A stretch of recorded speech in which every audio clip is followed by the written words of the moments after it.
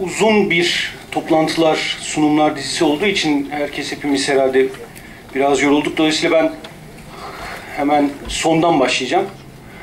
Ee, şimdi devrimci halkçı yerel yönetimlerden bahsediyoruz ama e, bir sanırım açık seçikleştirmeye de ihtiyacımız var. Yani devrimci halkçı yerel yönetimler ne? Devrimci halkçı, sosyalist adına ne dersek diyelim, nasıl tariflersek tarifleyelim. Bunları nasıl ta- tasnif ediyoruz? Devrimci halkçı yerel bir yerel yönetimi devrimci ya da halkçı yapan temel özellik ya da özellikler neler?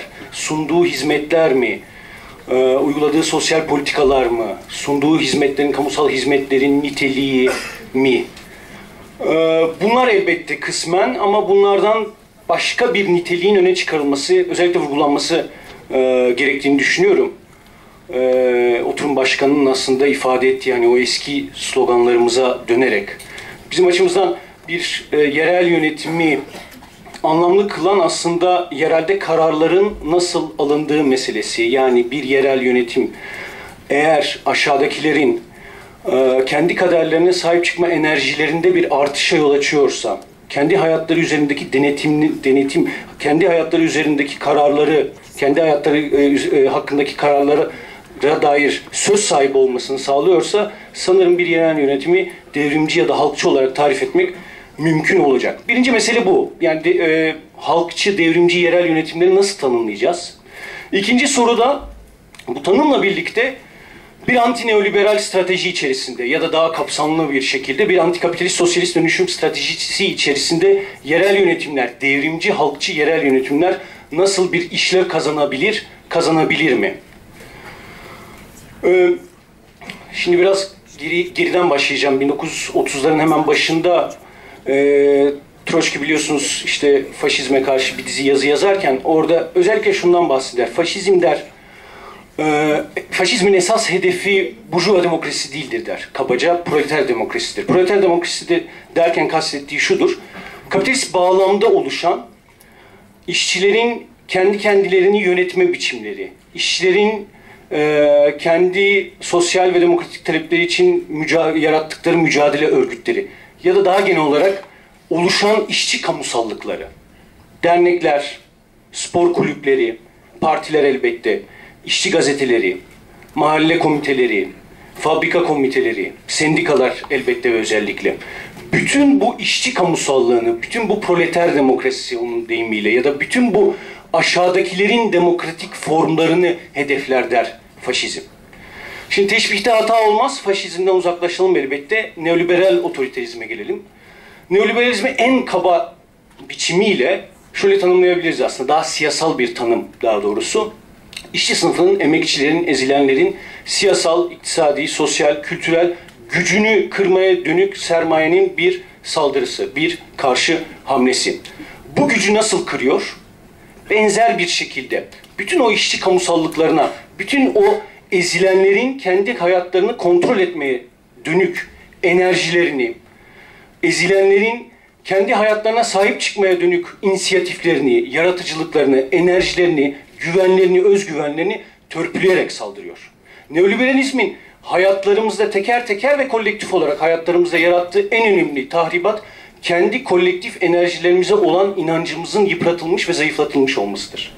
Dolayısıyla neoliberalizme karşı birazdan hani biraz daha belki kabaca ama de, biraz daha detaya inerek neoliberalizm niye otoriterdir aynı zamanda tartışmasını hani bir iki başlıkla ifade edebilirim ama dolayısıyla neoliberalizme karşı mücadelenin temel ayaklarından bir tanesi bu kolektif gücün, bu kolektif enerjinin, bu kolektif özgüvenin yeniden yaratılmasının yollarını bulabilmektir. Şimdi eğer yerel yönetimler bizim verdiğimiz sıfatlarla devrimci ya da halkçı ya da bilmem ne bu yerel yönetimler aşağıdakilerin bu kolektif gücünü kendi kaderlerine sahip çıkma enerjisinin önünü açıyorsa yani karar alma süreçleri o kararlardan etkilenenlerin e, etkileneni özne kılan süreçlerse böyle süreçler yaratabiliyorsak bunun adına değişik biçimlerde bulabiliriz ya da değişik formlar olabilir. Komiteler olabilir, katılımcı bütçe örnekleri olabilir, şu olabilir, bu olabilir. Bir tür öz yönetime yönelen formlar bulabiliyorsak bu aynı zamanda bu kolektif gücümüzü yıpratan neoliberalizme karşı mücadelenin de önemli ayaklarından e, bir tanesi olabilir. ve dolayısıyla yerel yönetimleri bu bağlamda tartışmak e, gerekir. Şimdi demokrasiye karşı neoliberalizm niye karşı? Çok hani birkaç başlık altında e, çok tartışılmış bir tanesi, çok bilinen bir şey. E, iktisadi, sosyal hayatımızın iktisadi, sosyal işte etiketi altında e, ifade edilen büyük bir bölümünü, büyük bir ilişkiler bütününü teknik meseleler olarak piyasanın ve piyasanın aktörlerinin özel işleyişinin e, nasıl derler denetimine ve kontrolüne tabi kılınmış te- teknik meseleler olarak siyasal karar alma süreçlerinin dışına iter neoliberalizm. Dolayısıyla hayatımızın önemli bir bölümünü siyaset dışı ve dolayısıyla demokrasi dışı, demokratik karar alma süreçlerinin dışına atar. İkincisi, hepimiz biliyoruz neoliberalizmin temel e, bir özelliği dışlayıcı toplumsal mekanizmaları devreye sokması, dışlayıcı karakteri. Bu aynı zamanda geniş toplumsal kesimleri dışladığı için güvenlik meselesini siyasetin temel temalarından bir tanesi haline getirir.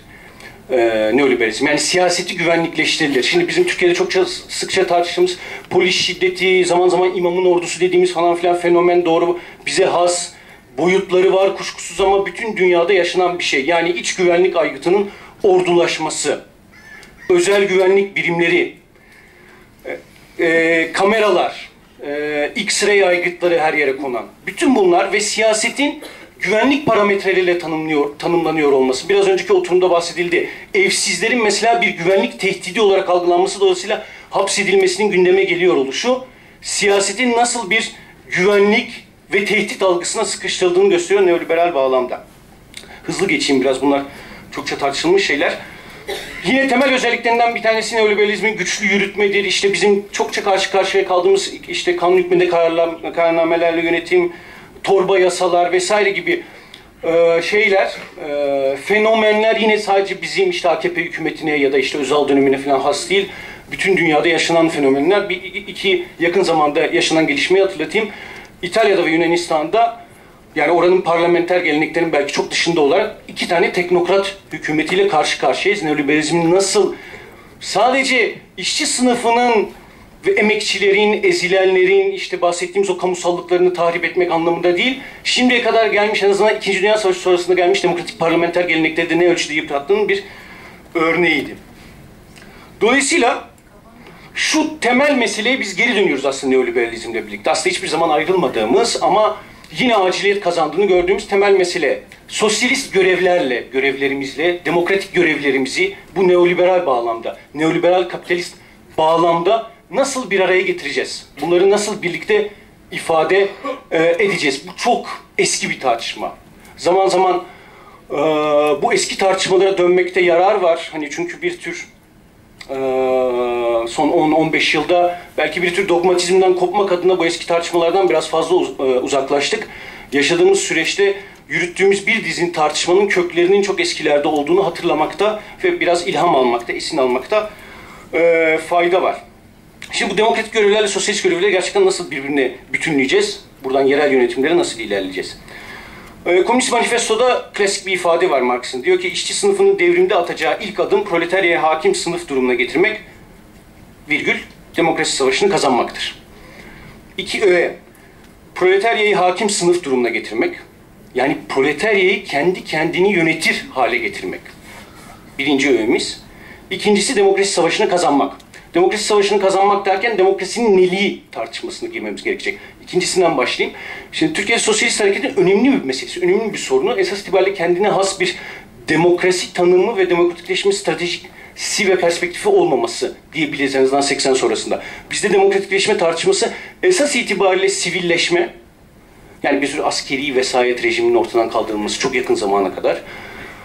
Ya da işte e, Burjuva Dem- Demokratik Parlamenter Nizamın işte böyle nizasız, fasılasız, kesintisiz işlemesiyle sınırlı bir mesele olarak çokça düşüldü.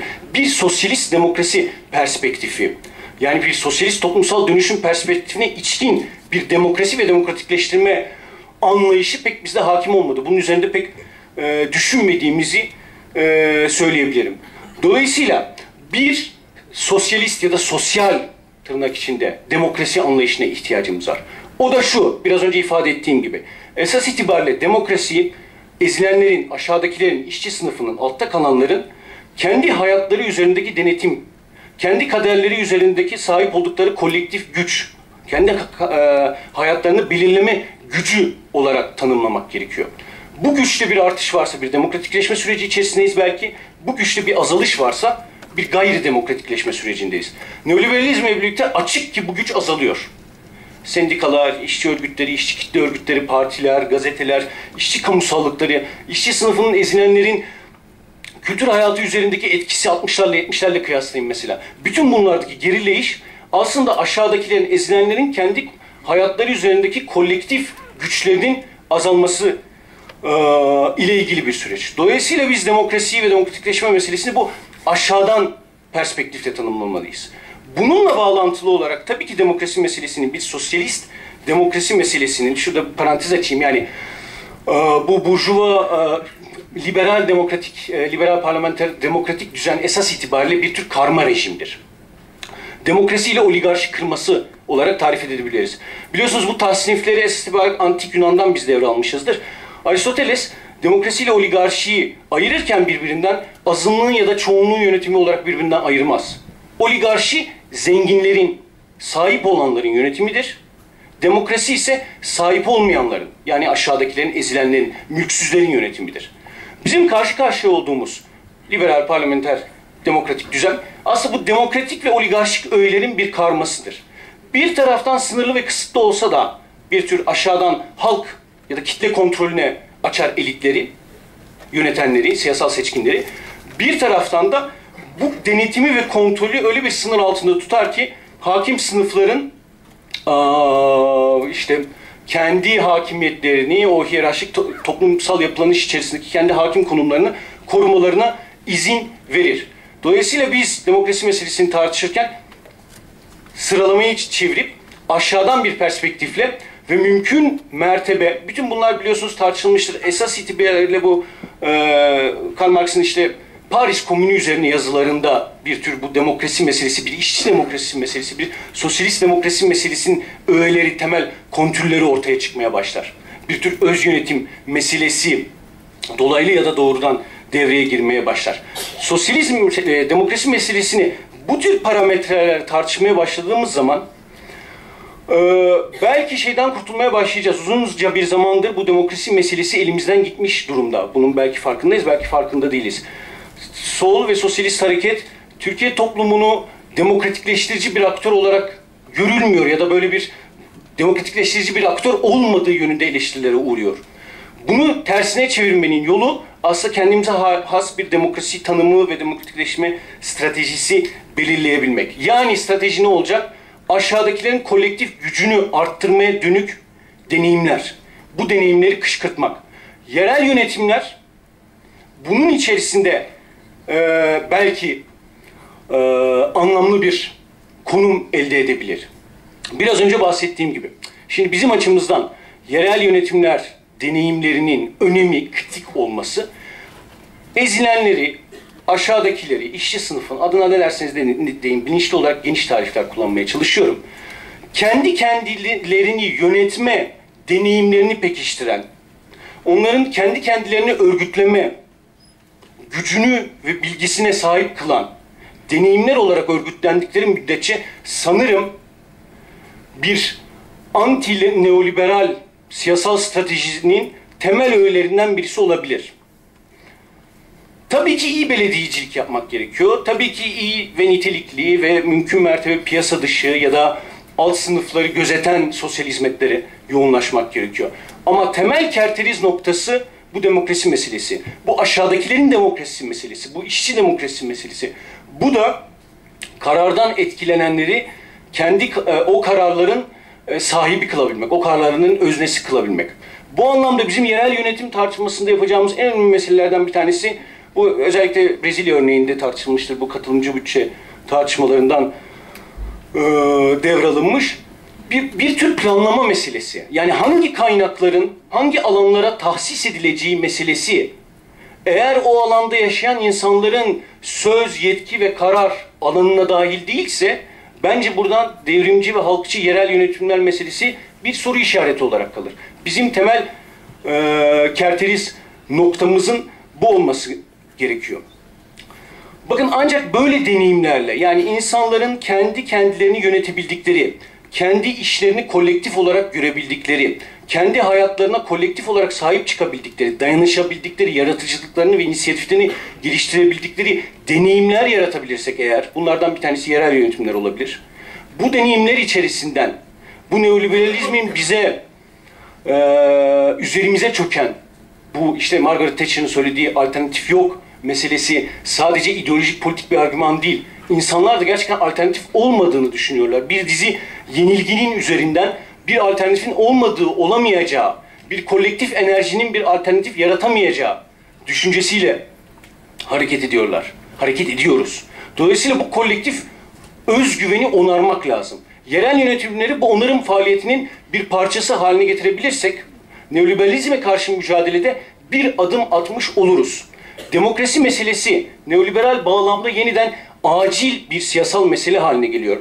Şey bir tesadüf değil. Sadece Tunus'ta ya da Mısır'da değil demokrasi meselesinin büyük kitle mücadelelerinin konusu olması. Son 6 ayda, 7 ayda Yunanistan'da, İspanya'da, ABD'de, İngiltere'de, İtalya'da yaşanmış olan bütün büyük, yoğun ve giderek radikalleşmiş kitle mücadeleleri içerisinde sosyal taleplerle birlikte, sosyal adalet talepleriyle birlikte, sosyal eşitlik talepleriyle birlikte demokrasi meselesi de doğrudan demokrasi adıyla, aşağıdan demokrasi adıyla, gerçek demokrasi adıyla gündeme geldi, geliyor. Bu meseleyi önümüzde bulacağız. Çünkü buluyoruz da. Çünkü hakikaten bu demokrasi meselesi sadece yukarıdaki bir takım kurumlara ait bir mesele değil. Bizim kendimize, kendi yaratıcı enerjimize ne kadar güven duyduğumuz ve duyabileceğimizle ilişkili bir mesele. Süre konusunda ne kadar var bilmiyorum. Bir hususu hatırlatmak istiyorum. Sosyalizmin iki tane ruhundan, iki tane haleti ruh e, haleti ruhiyesinden bahsedilebilir. Bir tanesi yukarıdan, bir tanesi aşağıdan kabaca. Sosyalizm kabaca Marx'a kadar esas itibariyle bir ideal toplum önerisinin önerilmesidir. Bir ideal toplum önerisinin ortaya konulmasıdır. Bir ütopya meselesidir. Ütopyalar bu anlamıyla ziyadesiyle elitist ve anti, antidemokratiktir, otoriterdir. Yani ahaliye çıkar bir eğitici diktatör, bir bilen insan der ki şöyle şöyle yaşasak daha iyi olur kibarca ya da şöyle yaşasanız çok daha iyi olur biraz daha kabaca. Bir öneri sunar. Marx'la birlikte sosyalizm tarihinde ilk defa demeyelim ama bu kadar vurgulu bir şekilde sosyalizm meselesi sadece bir ideal toplum tasavvuru olmaktan çıkar. Daha fazla bir sosyal sınıfın, toplumun büyük çoğunluğunu meydana getiren bir sosyal sınıfın, yani çok basit bir gerçek ama unutuyoruz. Bunun kendi kendini özgürleştirme mücadelesi haline gelir. Dolayısıyla aşağıdakilerin bu kendi kendini özgürleştirme mücadelesi içerisindeki gücü, kolektif gücü ne kadar fazlaysa, yani sosyalist demokrasinin öğeleri ne kadar fazlaysa, yani işçi demokrasinin, yani aşağıdakilerin demokrasinin öğeleri ne kadar fazlaysa, işçilerin örgütlülükleri, kendi gündelik hayatlarının spordan, bilemiyorum başka alanlara, bir dizi alanında, basında ne kadar o kamusallık örülmüşse, işçi demokrasi ve aşağıdakilerin demokrasi ne kadar gelişkinse, sosyalizm mücadelesi o kadar güçlüdür. Bu ikisi arasında içsel bir bağlantı vardır. Bizim için demokrasi meselesi dolayısıyla yani aşağıdakilerin kendi kaderlerini tayin etme gücü meselesi bir form meselesi, bir biçim meselesi değildir. Sosyalizmin bir içeriği meselesidir. Bunu güçlendirebiliyorsak eğer, değişik mücadele araçlarıyla yerel yönetim bunun bir başlığı olabilir mi? Sorusu bu. Olabilir kuşkusuz. Eğer, eğer karar alma süreçleri o kararlardan etkilenenlerin öznesi olacağı şekilde düzenlenebilirse, o kadar sosyalizm mücadelesi ete kemiğe bürünmeye başlar. Sosyalizm meselesi güzel gelecek, güzel günlere dair bir laf olmaktan çıkar. Dileyelim ki yerel yönetimler böylesi bir mücadelenin bir parçası olmuş olsun. Muhtaç olduğumuz kudret damarlarımızdaki asil kanda değilse de geleneğimizde mevcuttur. Biraz buralara o açıdan baksak ve bakabilsek oralardaki bu bir takım nüvelerin, bu öz yönetimsel, bu, bu aşağıdakilere güç veren öğelerin aslında bugün daha fazla ihtiyaç duyduğumuz, bugün en çok ihtiyaç duyduğumuz şey olduğunu görebiliriz diye düşünüyorum. Teşekkürler.